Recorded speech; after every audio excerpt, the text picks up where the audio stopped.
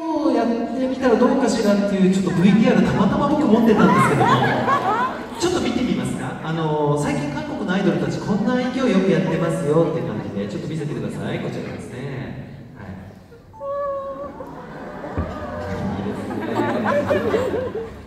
ああいいですね。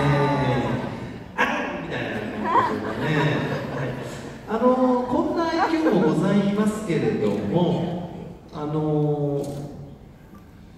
でこんなこともしてましたよねそういえばちょっと見せてくださいはいこんなことやってましたねこんなことやったり、뭐 애교라기보다 네. 네, 이게 한창 한국에서 유행이었어요. 그래서 썼었죠. これはもう愛嬌というよりも一時期韓国でちょっとブームになったのでもらったものをかぶっただけですあということは何かこう日本でもブームになってるものがあればかぶる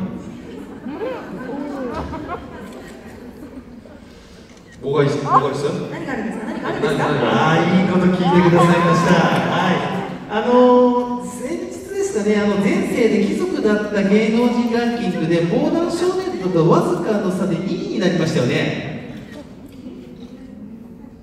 아, 축하합니다, BTS. いえいえいえ皆さんおめでとうございますいやいやいやいやということで、えぜひですね貴族になっていただこうということでこちらを用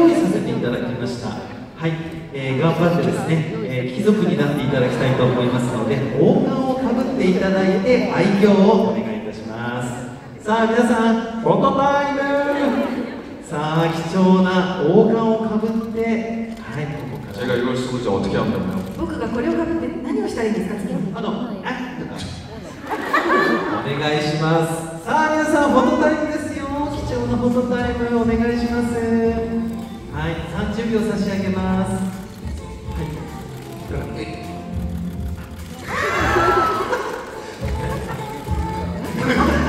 これは何ですか。あちらもお願いします。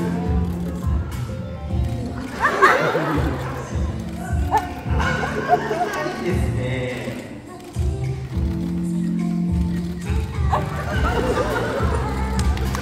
はい、ラスト。